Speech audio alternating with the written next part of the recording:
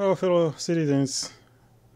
Uh, Nero here. Just uh, wanted to make a comment on uh, akateka Besu. Uh, this news, this comment that he made in uh, in uh, in uh, when he went to Western, I think it was in Choma, where he said, "No, don't just." Was referring to um, HH.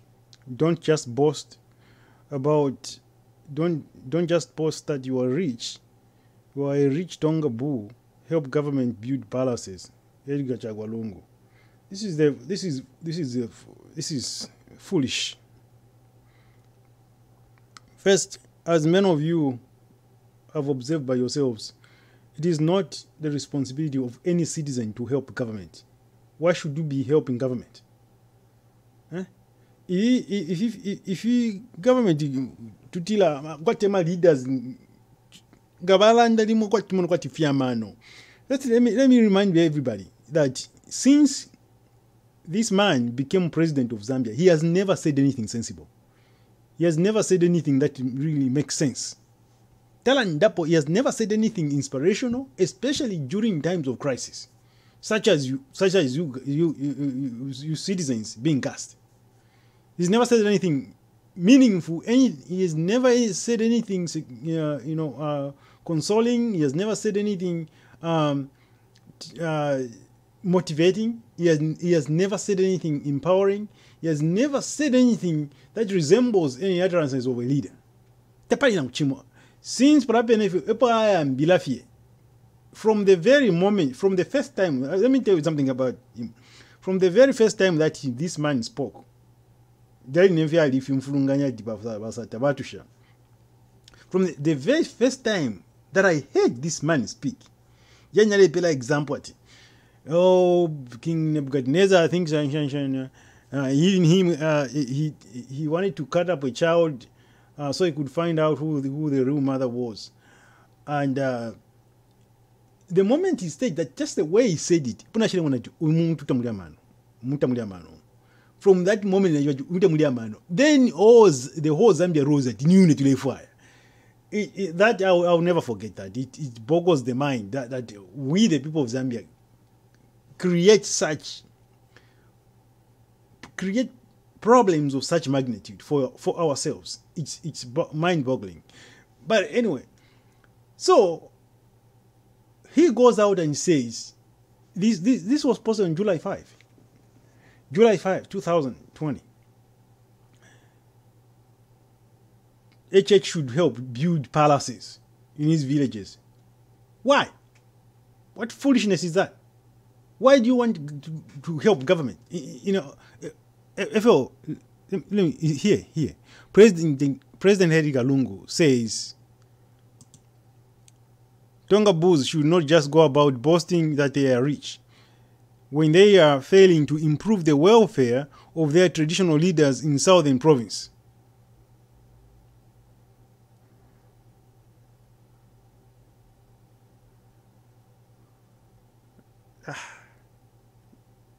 it goes on. It's, a whole long article here. Before before before before I respond fully here, before I make a full comment, let me see. Uh, you know, one just just pick some of some of the stuff that he added. Um, if the 48 mansions without the owners had in, okay, that- that's that, that that's uh, that's a, re- a response. But uh, I, I wanna I wanna see his utterances here. I, I read it already, but I just wanted to read something back to you guys so we can have a basis for my. You can see wh- what I'm basing my comment on. Um, you cannot be boasting in town that you are rich. You are rich, Tonga. You are Tonga Boo. You have you you've got so much money, but why can't you spare a few to help your chief build a palace, buy a car? That is how we used to do to do it in the past. What has what has happened? Wondered Lungu. He wondered. Lungu wondered. First, let me let me let me let me tell you guys something. According to Forbes, I think I've said this this before. According to Forbes, Lungu is worth over four hundred million dollars, and that they attribute that worth to having the main shares in a number of top companies in Zambia, being the top shareholder in a number of top companies in Zambia. That's and other undisclosed sources of money. That's how they explain the worth of Mr. Lungu. Over 400 million US dollars, not Zimbabwean dollars, US dollars. Just for a scale, the President of the United States, this was of 2018, just for a scale, President Barack Obama, in, in the, one of the wealthiest countries in the world, President of the United States, and he was there for eight years. This, this guy has been in, in office for about six years in one of the poorest rated countries in the world. Poor in terms of rating because they measure the poverty levels of the people. Even though we have so much wealth, now you can understand where the wealth is. If one man can be worth more than $400 million, that was of, as of 2018. So, Barack Obama, as of 2018, worth approximately 40 million US dollars. So, this man is 10 times, more than 10 times richer, more wealthy than Barack Obama. And he is also more wealthy, far more wealthy than the last five or six or seven presidents, excluding uh, Donald Trump, seven presidents put together, presidents of the United States, all of them put together. He's worth more than that, far more worth than their combined worth. So, here is the man now telling a private citizen a, a citizen uh, to, to, to go and build palaces what, to help the government. I want, I want, I want, I want, I want to see well, exactly that. That's where that's what it, that's what it says here. It says to help the government. help the government. Um, let's see here. That's what it says. Yeah. So yeah, he says has he has since he has since called on citizens. Oh, this, this is Lungu. They're talking about Lungu, Wandad Lungu. However, Lungu charged providing decent accommodation for, for traditional leaders is not the responsibility of government alone, but every citizen as subject of respective chief, uh, chiefdoms. He has since called on citizens to help government complete the construction of palaces that have halted, while further recalling that subjects in the past used to take care of the welfare of their chiefs. Okay, let's go right there. We want to talk about the the sense the, the, the senselessness of what this person says. Okay? Today is not long ago. And we are we have departed from that cultural trend.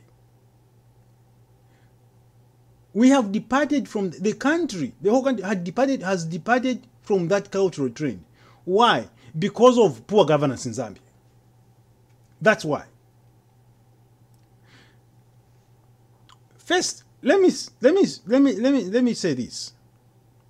Uh, let me talk about the concept of helping government. The concept of helping government is foolish no one helps government. You can't be helping government. Why should you be helping the government to do what's mandated to do? The government is not just another entity. The government is instituted by the people in order to do those things that they cannot accomplish as individuals. That's what government is. So you can't do that. So when you institute government to do those things that you cannot accomplish individually, then you relinquish a small, a small percentage of your rights to the government and give it power so that it can do those things. Right? So that power, part of that power that you have given the government is to collect taxes. To collect taxes so that it can have the means to do those things that you as a nation cannot, as citizens, cannot accomplish as, uh, in, as individuals. Get what, I, get what I'm saying? You have given the government the power to collect taxes from you. In order to accomplish those things, you cannot individually. So, why would you, what sense does it make for you to start helping the government? This is the foolishness that we have in Zambia. When, when you hear, wow, this man has donated to the government. Yeah, this so and so has donated so much, so many masks and all that stuff to the government. Why do you, why do you, no, it does not, it, it's foolishness to think you can donate to the government. You don't donate to the government. You don't help the government. You are the government. We the people are the government. If you if you, there's such a thing as you are donating to the government, it means somebody is just stealing your money. They're already taking your taxes. They are already taking 37.5% of your income as per as you earn.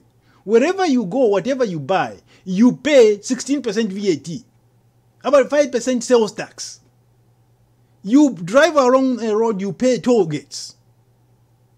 You buy gas or fuel, gasoline, petrol, whatever, whatever, whatever you, you were calling it these days. You pay fuel levy, you pay transport levy, you pay uh, road levy, you pay ERB levy, you pay traders charges, all those things you pay. Whether you buy, whether, whether you drive a car or buy fuel or, or not, you pay those things because the cost is passed on to you. Government collects all these things, all these things. In order to do those things, you cannot accomplish individually. I keep reminding everybody what government is, what the, the role of government is. So, why do you want, if it's the role of the government, why, why, should, why, should, why should you entertain the concept that you should be helping the government? You do not help government. You do not help government. Government is not just some entity that needs help. You don't help government. If the government is run with, by fools, then that's another issue. That's a problem. That's a problem, guys. You don't help government. There's no such thing as helping government. There is no such thing as helping government. Now, you can talk about collaborating with government. Yes, you collaborate with government in many aspects public private partnerships. Those are collaborations. You know, you can carry out your own, you know, private uh, development, such, such as, eh, hey, hey, NGOs collaborate with the government, they coordinate with the government. All those organizations are coordinating with the government. They're not helping the government, they're just, you know, implementing their own programs, you know, uh, because the government because of the government's failure. That that those organizations are implementing their own uh, programs is not is not help it's not helping government. It's not we are here to help the government. No.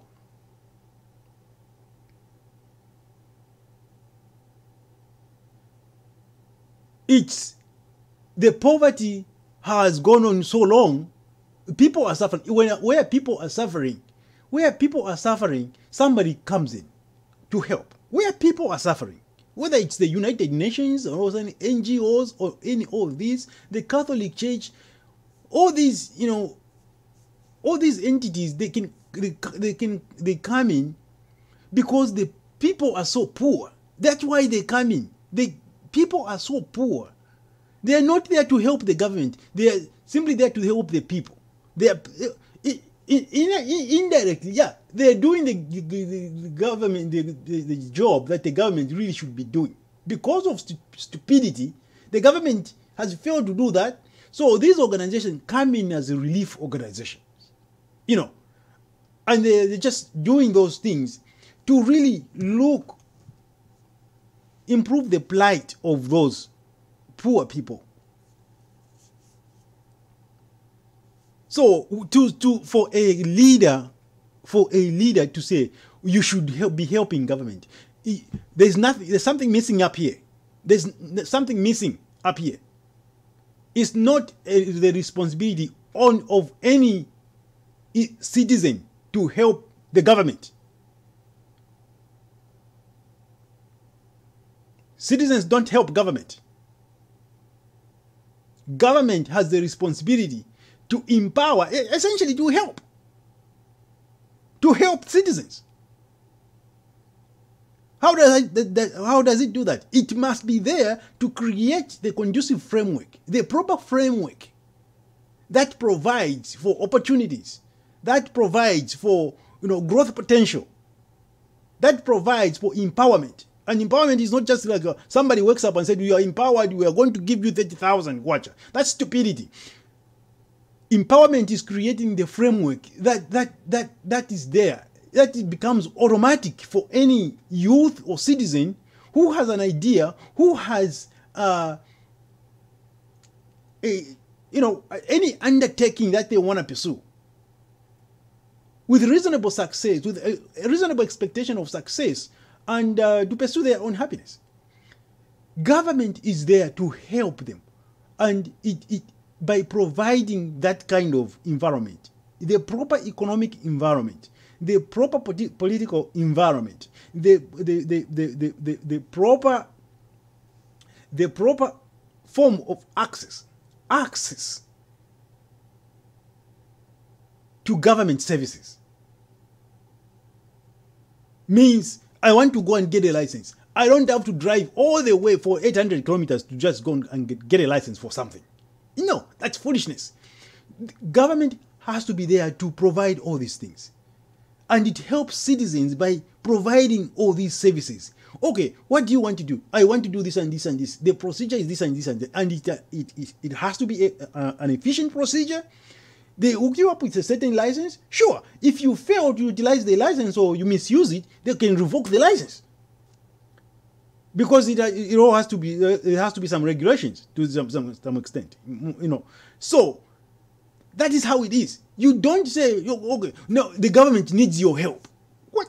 That, that's foolishness. So coming back to, to HH, HH owes nothing to nobody. Okay? I am not a, I'm not I'm, I'm not a I'm not a fan of HH myself. I'm not I'm, I'm, I'm not talking I'm not I'm not speaking here uh, about HH you know because I'm a fan of HH. No, I'm, I'm, I'm not a fan of HH. I don't believe HH is going to change Zambia. Um, or uh, end corruption or uh, bring any significant improvement to Zambia. I don't, I don't, I, I, I don't think so. You know, but he's not responsible for anything. He's not responsible for building any foolish palace. You know, whatever riches he has, he has, he has done a lot for some people. I believe he has done a lot for some people. You know, but he he has is under no obligation to help anybody, to build any palace for anybody. Get that in your head. Yeah, HH or any other citizen is no and is not obligated to do anything for, for, for a chief. So, so having said that, when we were under uh, our own rule, no colonial rule, before these white people came. We lived in chiefdoms, uh, in kingdoms. The, the, the, chief, the chief uh, thing was brought on by white people because they, they didn't want to to um, to make our kings comparable to the king of England. That's why they started to call our kings chiefs, and we have been stuck with that. Our kings, we were in kingdoms, the Bemba kingdom.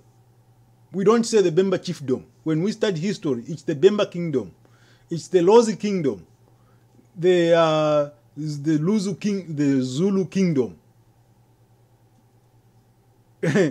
See, we, when you read your when we read our history, when when you we study history in uh, Gray, in, in our secondary school, we don't we don't study the kingdom of the Bemba, uh, the chiefdom of the Bemba. We don't study the chiefdom of the Bemba. We study the kingdom of the Bemba. They were kings. The, the white people came and said, no, they are not no longer king. We are not we are not going to we are not going to call them uh, kings anymore because that's too comparable to the king of England. They, these these people cannot be equal. We can we cannot we cannot we cannot use the same title for this uh, third of a human for this third of a human being uh, as we use for the for, for the king of England. So they started to call them chiefs. So when we were all you know, governing ourselves and all that stuff, we had a traditional structure. That was premised on strong transcendent values, premised on strong, you know, uh, morals, you know, cultural, you know, very strong cultural uh, cultural fab, fabric uh, with a very strong traditional framework of um, framework of, of, of, of, of laws. Yeah, they were laws. They were traditional laws. You know, much of what has become custom, what we refer to as customary, uh, customary law today, you know, that, that comes from that from our traditional from from traditionally how we have done things what was acceptable in our society it has it, it, was been compiled into what we refer to as customary law you know. So we had that shift we were those, we had those kingdoms with hierarchical structures. And how did the king survive? Yeah people paid homage because there was no other government during then. So people you know paid homage to the king. Uh, they would, they will bring animals, they will bring chicken, they will do all, all that kind of stuff. The king, the, the, the chiefdom in the sub, its subjects would build palaces and things like that for the king. You know? Some of them sure, sure. Some of them sure had even tax, a taxation system. Some used it uh, to some. There were some tax tax collectors during the, that time. You know but uh, it'll be a chicken or something like that. Oh, you know, and, and paying homage in, in some kingdoms where it was an expectation, you have to pay homage to the king. You know, that's how the king was supported and all that stuff. So, um, today, what has led to the fall of this approach? What has led to the fall of this approach? It's very simple. Governance. Governance First, the introduction, the imposition of a Western style government upon our country. The imposition of the Western government standard. Now, if we're selfishness in oh, talk what, if we're Zambia, selfishness. Because when the British left Zambia, they left a transitional document a constitution, what they called a constitution, it was just, it was not even, a, it, it was, a, it, it was a, an act of parliament on England. It was actually a product of a statutory, a statutory in, instrument issued under the Zambia Independent Independence Act of 1964. It, it was a product of, it was drafted under a statutory instrument or order in council issued by the Queen of England under the authority of the Zambia Independence, Independence Act of 1964. So that was a scheduled document that they left us for a transition so that we could now sit down ourselves and craft our own constitution and determine how we were going to self govern. So that was a transitional document say, okay, in, in, the meantime, you can have this because you don't want a vacuum. You don't want a vacuum. You still have you need you still need structure until you get yourselves a new constitution.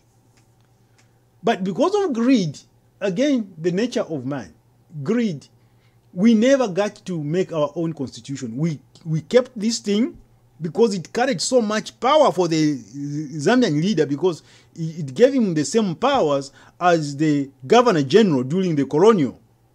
Those powers that were used by the governor general to put down the locals, to crank to, to no, no, no, to, to, crack down on, on, on anything, any uprising from the locals. Those powers, those powers were now in the president of Zambia. And they have continued to be like that to today. So what has what has happened here? What has shifted us? What has What has dissolved or diluted the um, the our attachments to where we come from, our attachments to our villages and things like that. One is the English language, uh, the, the, the, the, the, the, um, the uh, formal business language of, the Zam- of Zambia shall be English. The moment that happened, it started to destroy us, destroy our culture. Because every person now in Zambia thinks that English is superior to our local languages. And in case you didn't realize it, language, language is power. Language determines who you are, really, as a person. It determines your thought process. If you are a Bemba, you have never heard about English, the culture, culture is the fabric of culture rests within the language and it's it forms the schemas what what what are known as the schemas in your brain that determine really your behavior how you perceive your very perception of your world. The perception of your world is determined by your by your by, by your language bank. Your language bank. Umuchinshi respect from umuchinshi respect from what, who you respect what you respect how you are how you are expected to behave at a certain point all that is strongly tied to language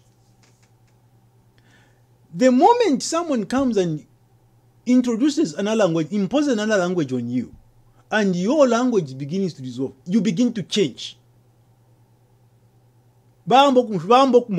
your culture begins to dissolve, to dilute. You know, and uh, this is what has been happening to Zambia. When you have every person, oh, Zungu, Zungu is, is, is uh, superior to you. Zungu is superior to you. Meaning the white, even the white skin is, is superior to you. Everything now Western because they imposed on us a Western style type government a Western style government, everything Western elevates you above others. Everything Western elevates you above others. You covet Western things. You covet English. You covet uh, a Western style of life. Everyone wants those things. So, what has happened? What has happened is we have lost our attachment to to uh, we have lost our attachment to our to our to our uh, to our uh, you know to our homelands, our chiefdoms, and, uh, and, and and things like that. And because of the incompetence of government, today people are so heavily taxed. Zambians are, are the most heavily taxed people on the planet. You are so heavily taxed that how would you manage, even if you wanted to, to go to a village and go and give something to a king when you can't support your own child, when you don't have anything to eat? How are you going to how are you going to do that? how would you take nani if yakulya wazana will take yakulya you you you you can't manage yourself. You find the chief with a with a mercedes benz parked outside the palace. Ilo waingira munganda tinalete vyakulya you know development oh you need to develop you need to develop villages. Development of a village sure. It is premised within the constructs of traditional culture traditional values, the transcendent values that, that are passed on. Each, each strength uh, rests within the uh, traditional within the traditional mind within the traditional mindset within the traditional mindset within our schemas of within the predetermination of language, language of who we are as a people. If you are a Bemba, if you are in Mwanga, the language that you speak, what forms you. And out of that forms the way of life of a people, comes the way of life of a people. How you are going to uh, conduct yourself, how you are going to treat the king, how you are going to treat your queen and uh, their de- descendants, etc. That's the development of uh, uh, traditional development, you know. So in that setting, sure, you can say, well, we need to pay homage to the king. We need to pay homage to the king. The king, this and this and this. You know, you take care of your king. If you are talking about modern development, no one person can accomplish that. A village cannot com- accomplish that on its own. We in a country that has a Western style government. Who, who, where, where does the chief get the authority from to to uh, to to to implement a police force? Hmm? And what power does that police force has in a system that is westernized already? Where, would they, where do they take the it, it, it doesn't work like that. That kind of development is still the responsibility of the government. The, only the government can bring hospitals there, bring uh, clinics or something, bring schools, bring social amenities to the rural area. You see, those are responsibilities of the gov- of government. Those are the role of government. Because people in the villages also pay taxes. Most of the stuff that they're using in the villages now are not produced in the village. They have to come from outside, and if they come from outside, they, they come they carry along with the tax. And the villages, whatever they buy, they have to pay tax. They consume sugar, they consume, uh, they wear clothes, they wear shoes, they there is so much stuff in the villages are no longer what they used to be. They, they are no longer what they used to be. They've been destroyed, and it goes back to a, to our foolish to the foolishness of our governance systems that never sought at any time never sought to even Kaunda tried with a, you know he had, he had programs like the go back to the land you know go back to the land that was a rural the rural repatriation program you know Kaunda was trying.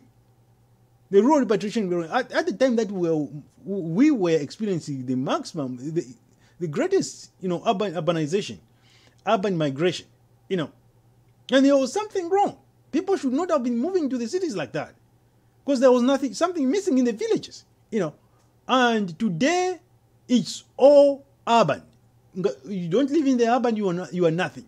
Everything is Western you have to emulate the United States. You have to emulate the British. You have to emulate the Australian.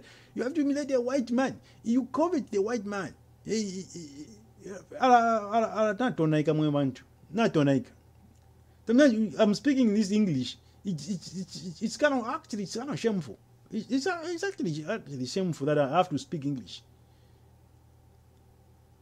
You know so that ngana ngana hambo fekulanda chipemba cheka you know so, some, um, we have 73 tribes in zambia. We we now we could have made one of them as official our official language or two of them. Bemba and lozi. Official language all three. You know canada has two official languages. Canada has french and english. Why? Because there were two peoples in there, there were the french originally and the the the, the, the english were there so they say we are going to make these two languages the main of, the official languages. You know. So our, our, we have destroyed ourselves in that regard. You know, we have destroyed ourselves, and uh, the only way we can ever fix this is if our governance, if when we develop our own constitution and provide in that constitution because we don't have a constitution right now that is ours, we develop a new, craft our own constitution. Because if and if bantu, we know ourselves. We know we, we are Zambians. We know where we come from. We know what our heritage is. So we are able to craft into that constitution pro- provisions, excuse me, provisions that protect our heritage, which means that provides for frameworks that preserve the, chief, the chiefdoms and protect chiefs from being used for political reasons and protect chiefs, prevent chiefs from becoming crooked. You are not going to respect a crooked king or a chief. A, a chief who's getting bribes from government in order to influence these, these people to vote for the party or something, eh, that's a crooked king. In, in respect ilapwa. Eh, no, eh, emfumu. Oh, eh, ara, ni emfumu. Emfumu never Mercedes Benz. Go to traditional ceremonies today. It's, it's actually pathetic when you go to tra- tra- traditional ceremonies today. It, it, it's not even worth it. Maybe the, the, the best one is the Kuomboka. Hey, Monica Fiat, okay, this is tradition. They really want to keep and preserve what we have. Go to the Ngoni or this traditional the Wasanga. Seriously? Info ni nepali Mercedes Benz. Eh, info. Eh, eh, aya. Inga nga ngawile kula nde ndefo kwa manako traditional ceremony. Ceremony. I want to go and, uh, see a traditional ceremony. Why? wala muna kwati wala muna mfu muna o- o- you are looking forward to seeing a, a chief being carried on you know on not on those platforms you know by the warriors being carried on those platforms yes tana so infum if ah infum by, by Mercedes Benz. A chief on a, on top of Mercedes Benz. Nama warriors walekoni walekoni na kuli motoka walekoni kuli motoka. It- it's so stupid man. It's really stupid. It's we, we we've just lost our culture. We are such we have such beautiful culture and we are just letting it slip through our hands. We are losing who we are. We are losing who we are people. Seriously. Now sure the damage has been caused to us by the english language. The damage has been caused. But with the right constitution, I think we can fix. There's still we can fix many of these things. A constitution is a very powerful document. A constitution is a very powerful document. It can redirect the culture of our land. That's what I'm telling you. A constitution can redirect the culture of our land just the same way as the stupid thing that we follow as the constitution is has been redirecting the culture of our land we are now being shifted towards the western cultures and since we since we can't really get there because english is not our native language you can never really think the same way as someone who was born in an, an English speaking country, who was born in the United Kingdom, a, a native English person. Because from, from when they were born, the only thing they knew was English. So their thinking is formed by the language, the language, the structure of the language itself, the schemas in their, uh, you know, minds is formed by the language. So if you just learn language and stuff, stuff like that, um, um, English, and you live in Zambia, in Zambia, if you, you you were never born in those typically English speaking countries, you were born in Zambia and you learn English and you pick it up and all that stuff, you can never think like a person who who was born in those countries. You just can't. Because why? Because the language is inconsistent with what's around you. When you are born a Bemba, you are born in a in a culture that is structured around that language and everything, all the things that the people do, manners, uh, ways of life, and everything is around that. So when you are born a Bemba, when you are growing up, you are seeing language, how the language translates into behaviors, things. Oh, this word is this, and this, and this, and this, and this, and this. That's how language shapes you as a person. How it, how it, you know, forms your perception of the of, of the world. You know. So if you are growing up vatamba kufunda chizungu chizungu chizungu chizungu chizungu chizungu. you can never think the same way as someone who was born in that english who was typically english because your english language is incompatible with everything so it becomes someone something else it forms something else that is neither you nor the english so you essentially are lost That's the power of these things. And that is why, that is how the English, the colonizers came to confuse us. Because they planted the language. They came to, they came to, you know, uh, confuse our languages. That's what they did. So, you know, so a constitution can fix this. A carefully uh, crafted constitution can fix this. i.e., you, you can change the national language, phase it out over 10 years, or phase it out over 20 years. Over 20 years, you phase out the language. Uh, there's nothing superior about the English language. There's nothing superior about it. There's nothing superior about it. You know, the, Japanese don't speak English. They, it's the most developed country in the world. Japanese don't speak English. The only reason that English is all over the world, seems to be all over the world, is because of the selfishness of those people, the English. Because they wanted to go around the world to get everything for themselves. That's the reason that English is, is, is all over the world. It's because it's out of selfishness. It's not because it's the best language on the planet. No, it's because the source of language, the people, the owners of the language, are selfish. They wanted to enslave the entire world. That's why it's around all over the place. It's not around the around the world because it's a superior it's a superior language. It is not a superior language. So you have the Japanese that speaks Japanese. They don't even they don't even understand English. Many of them don't understand English.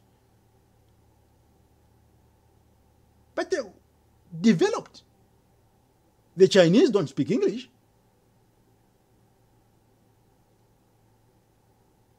The French, they don't speak English in France. It's a developed country. Go to Poland, they speak Polish. Go to the Netherlands. You know? All these countries in Europe,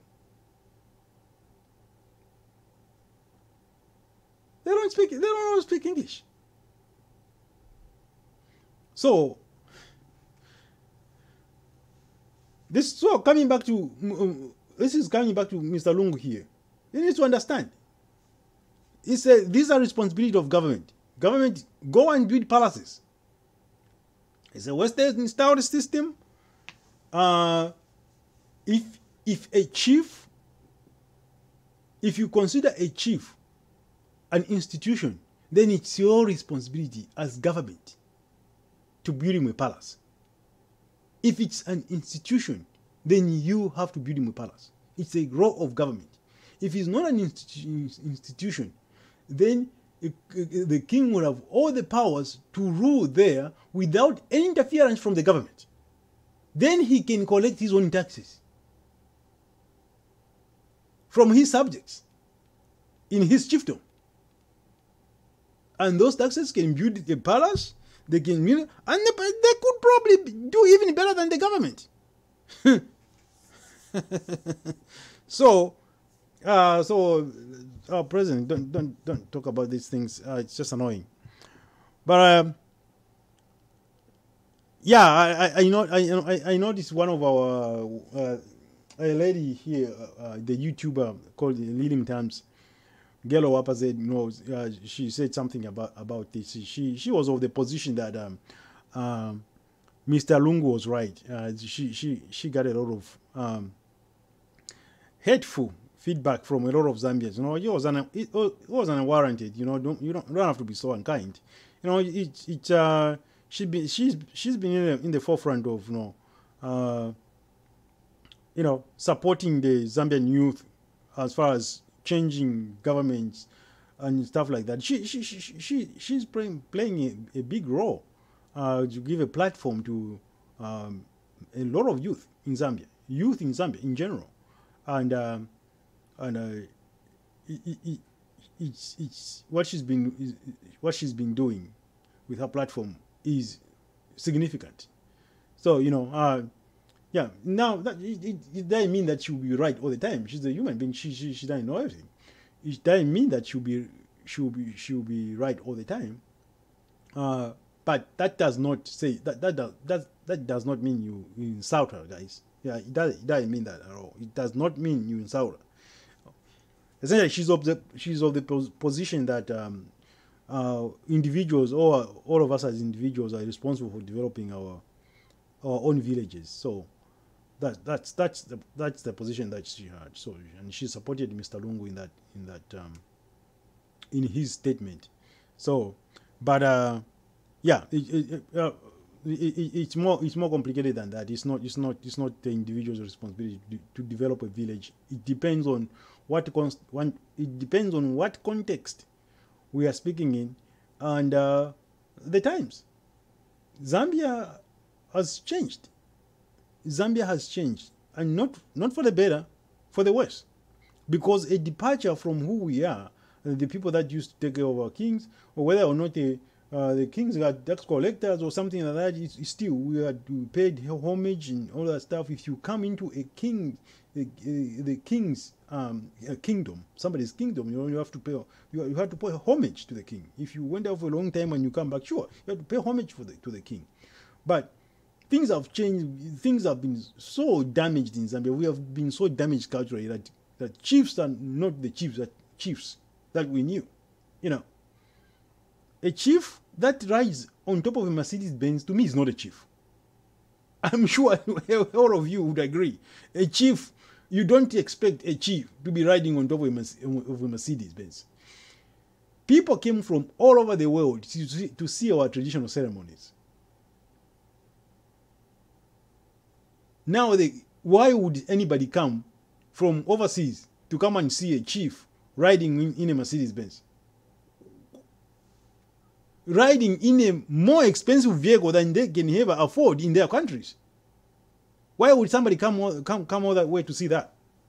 Makes no sense whatsoever, you know. So, uh, Mr. Lungu, uh, I'm, I'm, sorry, this that's a government job, uh, but um, in in in short, uh, we can fix this though even if we fix it though it, it's not it, it cannot go back to you know people have uh, to people have to start building palaces for chiefs. No it, it can't go back to that. The constitution a new constitution if we come up with one and which we should should should create a framework within which chiefs chiefs I said chiefs yeah thief thieves chief chiefs. The constitution would have to provide for a framework within which chiefs can have, you know,